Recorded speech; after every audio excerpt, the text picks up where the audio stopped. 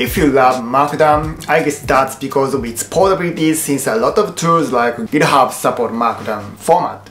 So you can use it for writing notes, documentations, blogs, emails, chat messages, and on and on. That's the one biggest reasons why I love Markdown so much. And I built my own app that lets you take notes in Markdown called Inkdrop. It helps you organize Markdown notes elegantly and syncs across devices smoothly. To take full advantage of Markdown's portability, there's room to improve it further. That is the integration ability for other tools. Hi, it's Taka here. Welcome back to my channel. Today I'm gonna work on improving the integration capability of Inkdrop so that you can easily work with other existing tools. Inkdrop provides its cloud data sync feature by utilizing the CouchDB replication protocol.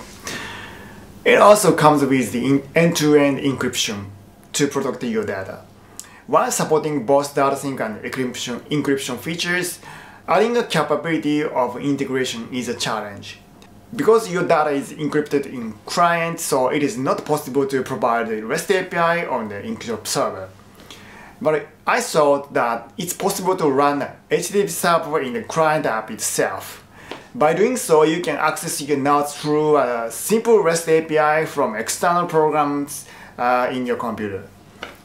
The API endpoint only accepts connections from localhost, uh, which means that it doesn't accept connections from external computers by default, so you don't have to uh, worry about uh, unexpected data leakage. This feature would unlock a lot of possibilities.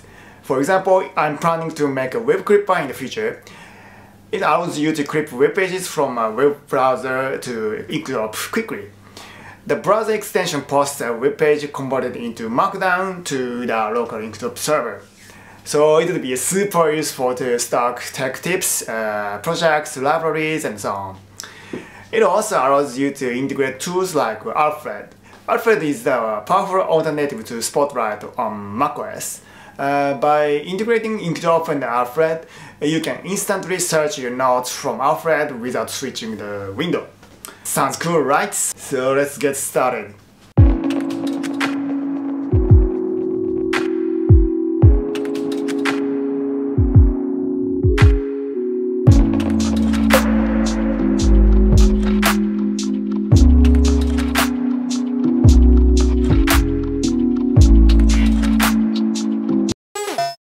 Okay, I built a local server module here. I use the Koa to build the API because it supports async await out of the box. So something like this. It's a, a root endpoint. It just returns the app information, app version here, and you can use async await here.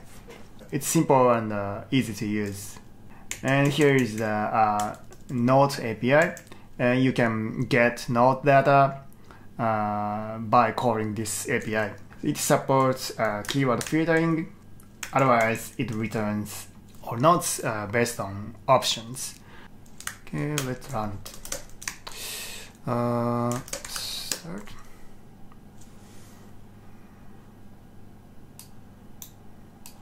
Okay, here. Let's try uh, calling the REST API using curl. curl HTTP here, something like this. Okay, boom. So it returns a, a single note.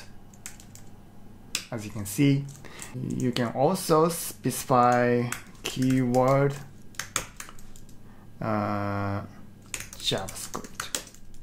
Yeah, it works great.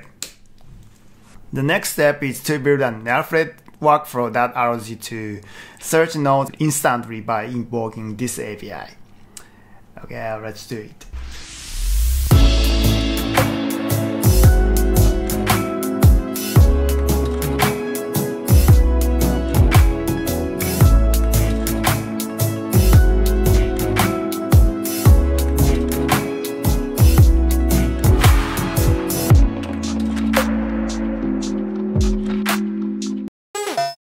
So I built the Alfred workflow here and I wrote a small PHP module that invokes the Inkdrop API.